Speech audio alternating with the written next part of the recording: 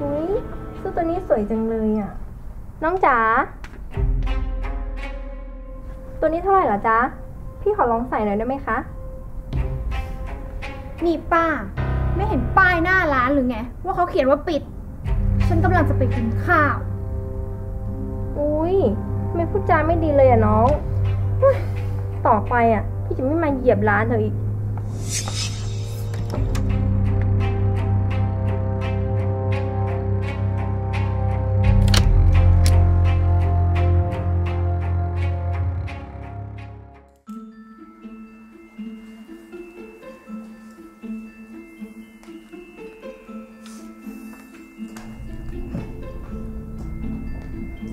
น้องคะ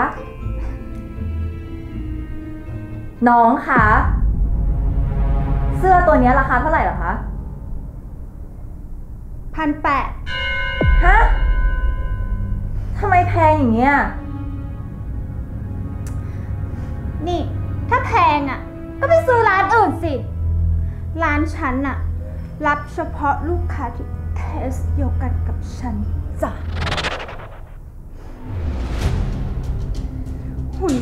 แย่ย่างแบบเนี้ยใส่อะไรไปอะไม่ได้สวยหรอกนะ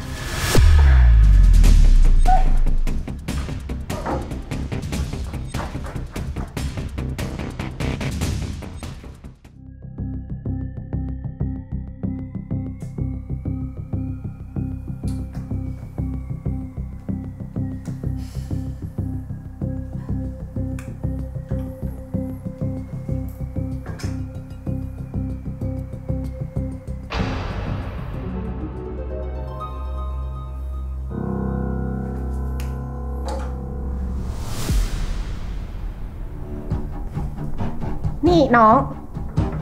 เมื่อกี้น้องเอาเสื้อตัวนี้ไปเช็ดเท้า แล้วก็มาแขวนขายต่อเนี่ยนะ ทุเลศว่ะ เสื้อในร้านต้องเยอะแยะก็เลือกตัวอื่นไปสิเห็นเต็มตา ใครจะไปอยากซื้อวะไม่ซื้อก็ไม่ต้องซื้อ ใครให้แกเข้ามาในร้านฉันล่ะ แม่ค้าปากแบบนี้ไง ถึงไม่มีลูกค้าที่ร้านอะ อีกไม่นานอะ ก็คงจะเจ๊ง เอ้าอีนี่แล้วร้านฉันอะมันไปแจ้งบนหัวมึงเหรอ ฮะ ดูสารรูปแบบแกเนี่ยนะ จริงๆอะ ไม่ต้องใส่เสื้ออะไรหรอก ใส่อะไรไปอะ ก็ไม่ได้สวยขึ้นหรอก เอาเวลามาด่าคนอื่นอะไปดูแลตัวเองนะ อีกไม่นานหรอก ผัวแกก็จะทิ้งแกเฮ้ยนี่นี่อะไรอะไรออกไปอีกแกออกไปเลยนี่นะ ออกไป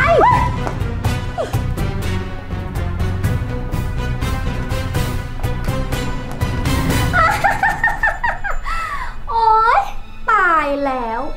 เนี่ยเหรอชีวิตเมียเศรษฐีผัวซื้อเสื้อผ้า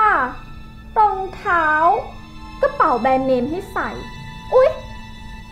งินเดือนใช้เดือนละแสน โอ๊ย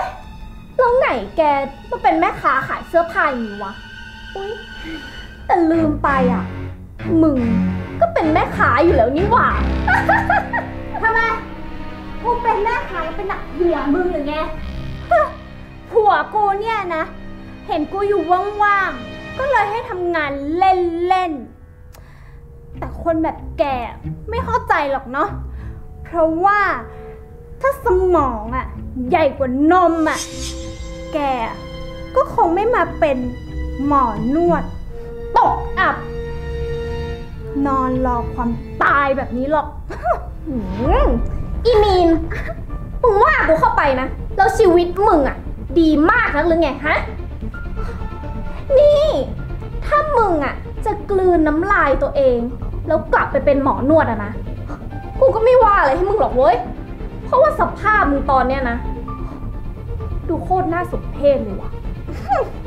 มึงอะสมเพศตัวเองก่อนเถอะอีพิมพ์ ถึงผู้ชายที่เลี้ยงกูอะไม่ได้รวยมากมายอะไร แต่คนสวยๆอย่างกู มีผู้ชายมาให้เลือกตั้งเยอะแยะ ไม่เชื่อ มึงก็คอยดูนะเว้ยจ้าอีแม่ คนสวย กูจะคอยดูนะมึง มึงออกไปเลยนะอีพิมไอ้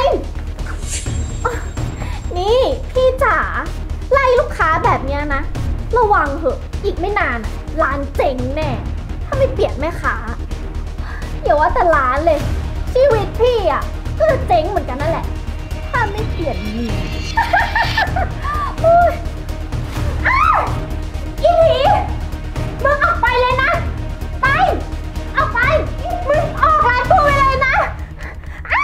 มิน มิน นี่มินทำไมไปไล่ลูกค้าแบบนั้นอะ มันเสียมารยาทมากรู้ไหม แล้วก็บ่นว่าร้านอะขายไม่ดีเพ่อนั่นเพ่อนี่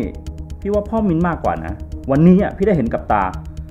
พูดจากับลูกค้าดีๆหน่อยอะ ไม่เป็นหรือไง ก็มันมาด่าฉันก่อนน่ะ ถ้าพี่ไม่รู้อะไรอะ ก็หุบปากอันเน่าๆของพี่ไว้เลยนะฮึพี่คิดว่าฉันน่ะ อยากเป็นแม่ค้ากระจอกกระจอกแบบนี้เหรอ พี่ขอให้ฉันออกจากเป็นหมอนวด ฉันก็ออก คิดว่าพี่อะจะเลี้ยงให้ฉันเป็นคุณนาย อยู่สุขสบาย แล้วทำไมมาให้ฉันขายของกระจอกกระจอกงอนลูกค้างงๆแบบเนี้ยฉันไม่ทนเว้ยฉันไม่เอาแล้ว ฉันไม่อยู่ ฉันไม่อยู่กับผู้ชายกระจอกกระจอกแบบนี้หรอก เดี๋ยวสิมีนเพราะพี่อะรักมีนนะ อย่าให้มีนอะออกจากวงจรพวกนั้น เงินเดือนอะพี่ก็ให้ พี่รู้ว่ามีนอะมีความสามารถ ร้านเนี้ยพี่ก็ลงทุนเปิดให้มีจะทิ้งพี่ไปแบบนี้เหรอฮะมีเคยรักพี่บ้างไหมไม่เคย ชัดนะ กูอะไม่เคยรักมึงเลยเว้ย แล้วอีกอย่างนะ เงินเดือนที่มึงให้กูอะเดือนละสองหมื่นอะมันไม่พอใช้เว้ย ไอ้โง่เดี๋ยวสิมีน แล้วมีนจะไปอยู่ไหนจะ ไปทำงานอะไร จะใช้ชีวิตแบบไหน เรื่องของกู ไป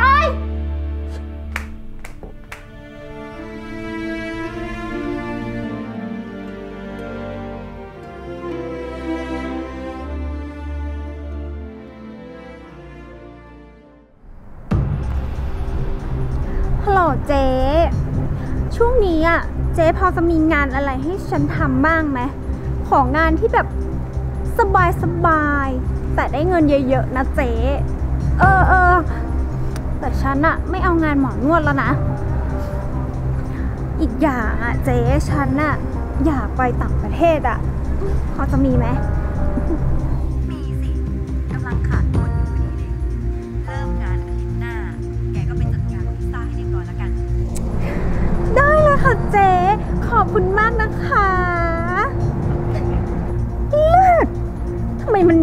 ง่ายจังวะอ้าว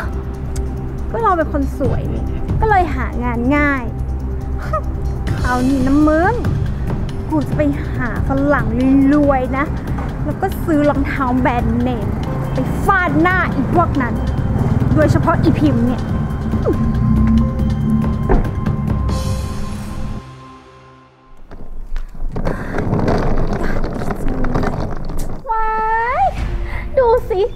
นนี้กูเจอใคร ว่าไงแม่ค้า วันเนี้ยไม่ไปเปิดร้านเหรอจ๊ะ ยังปากดีเหมือนเดิมเลยนะอีพิมพ์ ฉันน่ะจะไป go inter เนี่ยกำลังจะไปต่างประเทศจ้ะโอ้ยมึง วันก่อนกูยังทะเลาะกับมึงอยู่เลย วันนี้มึงบอกจะไป go inter มึงแน่ใจนะเว้ยว่าไม่ได้โดนหลอกไปขายตัว พูดแบบเนี้ย มึงอิจฉากูละสิ ก็กูบอกแล้วไง ว่าสวยๆแบบกูอะหางาน หาผัวได้สบายสบายๆจ้ะ ไปดีกว่า เหม็นยาหมองหมอนวด